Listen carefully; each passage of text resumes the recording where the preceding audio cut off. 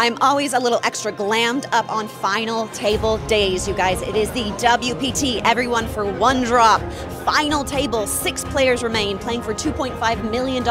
They have already locked up these final six over half a million dollars. That is a good day. So somebody's just gonna make, you know, an extra two mil on top of that. Before the players sat down to play this live stream final table, I had the chance to grab a couple of them, ask how they're feeling, ask what's going on. We also spotted a notable rail bird in the field. Here's what it looks like here at the Wynn today. You don't always get to a stage this big, so it's the same as always. I'll just play cards, and uh, I trust myself to play cards.